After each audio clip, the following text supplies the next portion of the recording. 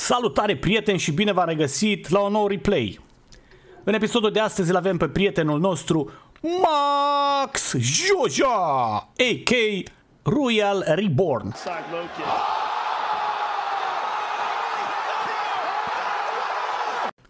A jucat cu, uh, prietenul nostru a jucat cu FV-ul și a avut uh, un match de asalt.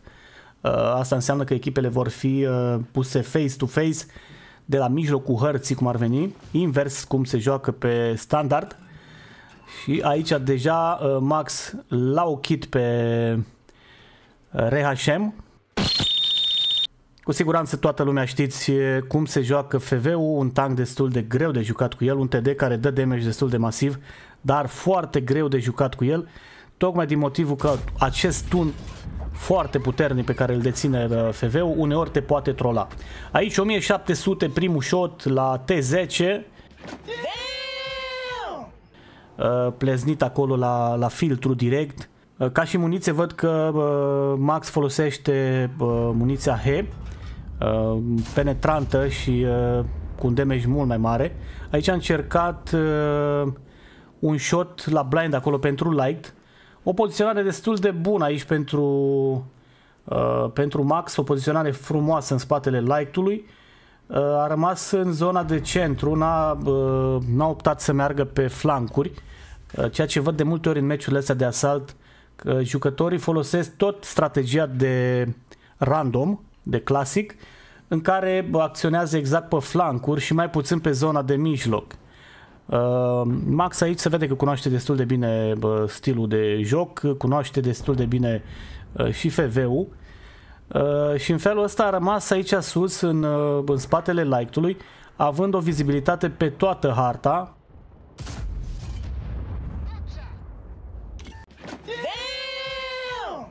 un shot aici frumos la LT pe care l-a scos din, uh, din luptă, un 1500 și în LT și în felul ăsta din două shoturi a făcut 3200 damage. Uh, vă reamintesc că acest match a fost finalizat cu un uh, ace pentru, pentru Max, un match fine. FV-ul de altfel după cum vă spuneam, un tank foarte greu de, de jucat și foarte dorit de majoritate. Dar ca să joci Uh, dar ca să joci cu FV-ul și să ajungi să faci uh, uh, statistic pe FV, wow, 1600 aici direct la blind la 121B, un shot foarte, foarte fain acolo. Hacker!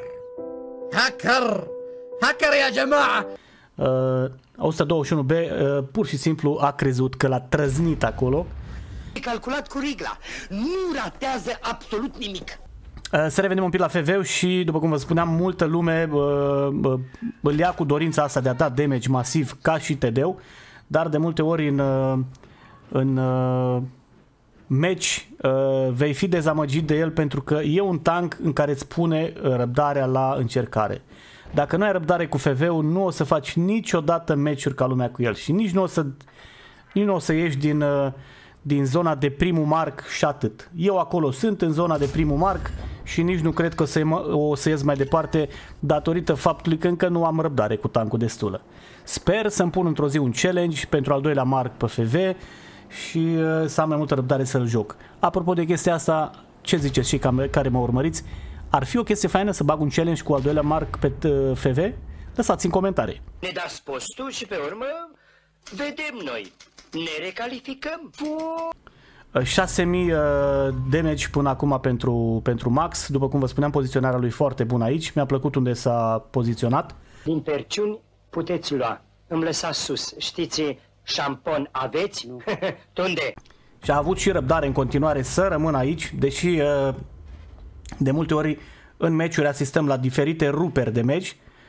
Un blind aici, al doilea blind frumos, Uh, care l-a dat lui Maus, Maus era acolo. Probabil vă întrebați, bun, dar de unde știa că e Maus acolo? Cum s-a orientat? Cu tovarăș capitan, rugați să nu mai azbuțe câinele ăsta pe mine așa. Uh, de asta vă zic mereu, încercați să folosiți minimapul. Minimapul, dacă îl folosești de multe ori, poți să tragi într-o poziție în care poate că tu nu vezi până acolo raza ta vizuală, dar dacă te orientezi după minimap și îți așezi ținta pe tancul respectiv de acolo și tragi, s-ar putea să rămâi mit și o să-l pălești. Deci tot timpul folosiți minimapul.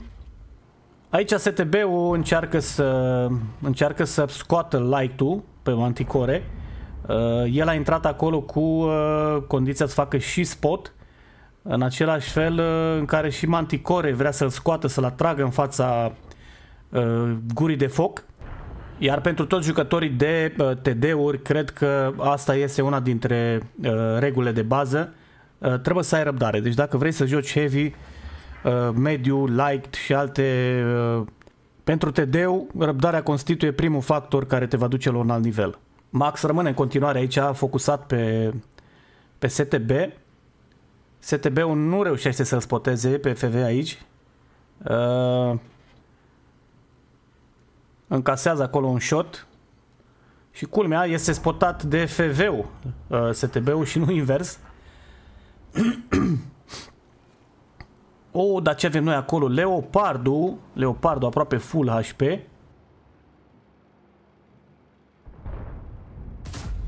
Oh, Jesus Christ!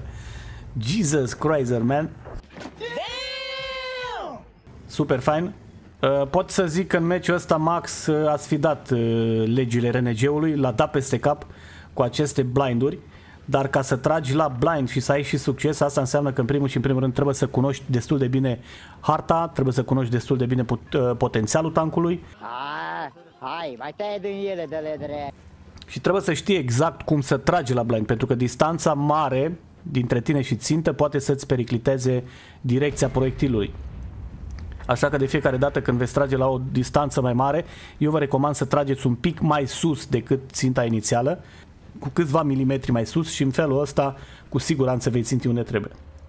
A mai rămas doar IS 7 aici, uh, 4 kill pentru, pentru Max, a făcut un meci super frumos, mi-a plăcut poziționarea lui acolo și mi-a plăcut că nu a ales să joace pe standard la o hartă de asalt pentru că majoritatea la modurile astea de asalt sau de defense sau contact uh, aleg să joace în stilul ca și cum ar juca uh, standard.